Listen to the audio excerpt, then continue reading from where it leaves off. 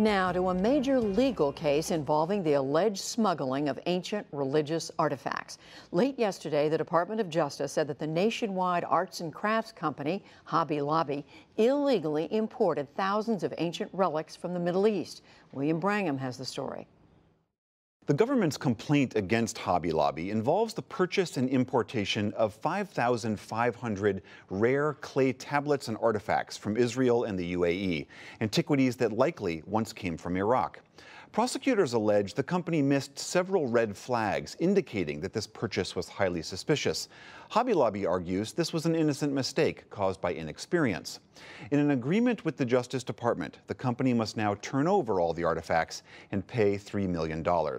Hobby Lobby is a family owned evangelical Christian company. They were at the center of the 2014 Supreme Court case that ruled companies can't be forced to cover birth control for their employees. And they're also constructing a multi million dollar Bible museum here in Washington, D.C., that will open this fall. For more on this case, I'm joined now by Deborah Lehr. She's chairman of George Washington University's Capitol Archaeological Institute, and she's the founder of the Antiquities Coalition, which works to stop the looting of world cultures. Welcome to the NewsHour. Uh, can you tell me just the basics? What is the, you heard what I said about the, the overview of this case. What is the government alleging that Hobby Lobby did wrong here? The government is alleging that they imported knowingly items from Iraq and that they used falsified shipping labels and that they uh, didn't get the appropriate import permits to be able to bring these uh, antiquities into the country. And what are these antiquities? What, what are the items that we're talking about? They are things, as you said, that are destined for their biblical museum, and they're clay tablets and cylinder seals and ancient items that were part of that time period in Iraq. So, uh, my understanding is the company says these were not uh, destined for the museum. They said they were just part of their larger collection. But um, the, the government also argues that there were all sorts of red flags that should have tipped off Hobby Lobby that, that this was not an appropriate purchase to make. Can you tell us what were some of those red flags? Absolutely. First, Hobby Lobby is a sophisticated importer, and they know very well that you have to designate the country of origin and the appropriate tariff line when bringing these into the country. This was not done.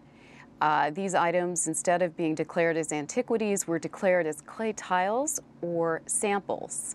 They were not noted that they were coming from Iraq, but instead that they were coming from Turkey. And it's no mistake that we have an agreement with Iraq that if they were being brought in and declared coming from Iraq, they would have to get an appropriate permit. Yet we don't have a similar type of agreement with Turkey. They're also coming from a part of the world where conflict antiquities are being uh, actually excavated by groups like Daesh or ISIS and knowingly being exported and used as a means for funding terrorism. And so there are quite a few red flags that they should have known, and at a minimum, they should have done provenance research, what they didn't do. What they actually did is paid five individuals through seven different accounts and as I said, then ship these in different packets, which that might be understandable, but to several different locations in the United States and without the appropriate or accurate shipping records. Now, the, the, the companies has agreed they're going to give back these items and they're willing to pay this $3 million to the government. Um, the company argues that they're new to this business and that this was really uh, sort of a rookie mistake, that inexperience is what caused these problems, not any intentional uh, looking past these, these concerns you've raised. Well, that's a very interesting argument for a group that has a business that's based largely on importing into the country, and it's those two claims that they actually are being fined for we could understand potentially that they may not be sophisticated about the specifics of what importing antiquities from Iraq would involve, but they are building a museum where they're importing and collecting historic items from around the world. So we hope that there are not other rookie mistakes that they have made within the, their Bible museum and the antiquities that are there. I mean, Hobby Lobby is certainly not the first organization or institution to sort of trip this particular wire. I mean, major cultural institutions in the United States in the past have had similar problems. I mean, this is, it's not an uncommon problem. Well, it's not an uncommon problem, but we haven't seen a fine quite this large and that it's very hard to bring about these kinds of cases. So we do commend the United States government and certainly ICE for the seizures that they're making. But the trade in antiquities and illicit antiquities is a global problem, and we're seeing it on the increase as we see conflict in the Middle East and where there are millions of sites still yet to be excavated. It's very much just an endless, almost excavation that's out there for thieves to take advantage of.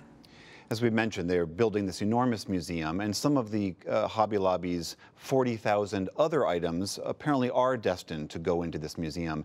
And other, uh, other experts in antiquities have, have raised concerns about the speed at which some of those items were gathered. Have you heard those same concerns? Yes, we've heard those same concerns, and one hopes that they have actually done the type of provenance research that they should be doing to ensure that these are not part of the illicit trade.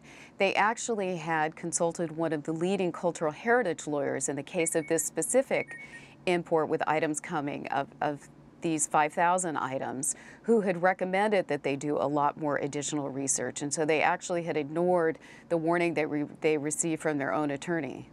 All right, Deborah Lehr of the Antiquities Coalition, thanks so much. Thank you very much.